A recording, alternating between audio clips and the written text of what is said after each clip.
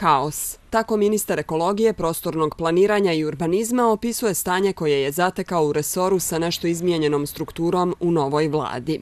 Zatekao sam, evo sada mogu da govorim o urbanizmu, da bukvalno centri moći van ministarstva su upravljali e, izradom prostornih planova i urbanističkih planova. Mitrović kaže da država mora biti nosilac prostornih i urbanističkih planova. Ideja je da se prvo formira direktorata, potom Državni zavod za prostorno planiranje i urbanizam, te da se u izradu planskih dokumenata uključe stručnjaci iz Evropske unije. Dosadašnja regulativa na osnovu koje su se za planiranje prostora ugovarali poslovi sa pojedincima i privatnim birojima omogućavala je malverzacije, ali i enormne zarade, kaže Mitrović. Na primjer, imate sada ugovorio neki od prostornih planera u Podgorici za dvije godine e, budžet da ne ime angažanoć na prostornom planu 220.000 eura, a to mu znači 300 eura dnevno zarađuje. Za te pare mi možemo da angažujemo biro kojeg prostornog planera iz Evrope.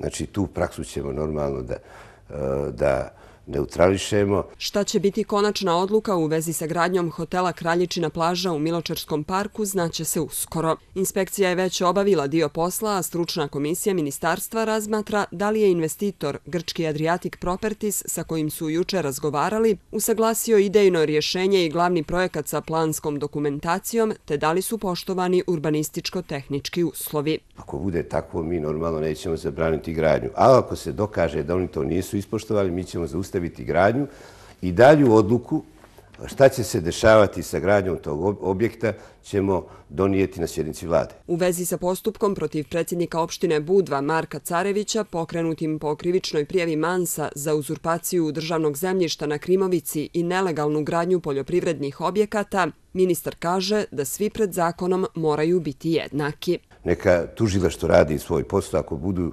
tužila što potrebne e, dodatne informacije, mi ćemo im dati i to je stvar tužila što i normalno svi su jednaki pred zakonom. Ministar Mitrović najavljuje i konačnu odluku vlade o vlasništvu nad Solanom, koje je godinama bilo otvoreno pitanje budući da Eurofond tvrdi da Solana nije državna imovina. Što se tiče Solane, tu je postoji jedan problem, to je imovinsko-pravni odnosi. Da biste bi e, mogli bilo šta da, da, da intervenišete na tom prostoru, znači morate da imate saglasnost vlasnike.